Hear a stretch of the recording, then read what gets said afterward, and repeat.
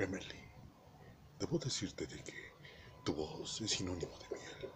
Puedo decir Emily, de miel, dulzura y encanto.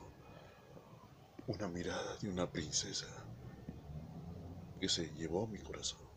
Y es por eso que te escribo con total devoción. Soy poeta y déjame decirte de que eres el pergamino más hermoso. Un pergamino de miles de páginas de oro, en la cual podría yo halagarte miles y miles de horas y días.